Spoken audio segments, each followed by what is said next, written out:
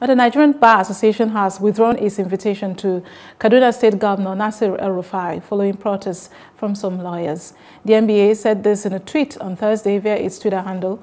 A petition to stop the governor from attending the annual general conference, which was started by a lawyer, Usani Odum, had garnered over 3,150 signatures on change.org as of 4 p.m. on Thursday in a separate letter titled Request to Withdraw the Offer of Platform at the 2020 Annual General Conference of the NBA to Malam Nasir El-Rufai, addressed to the Chairman, Technical Committee on Conference Planning, NBA Professor Konyinsola Ajayi, some lawyers said the governor must not be allowed to speak at the conference.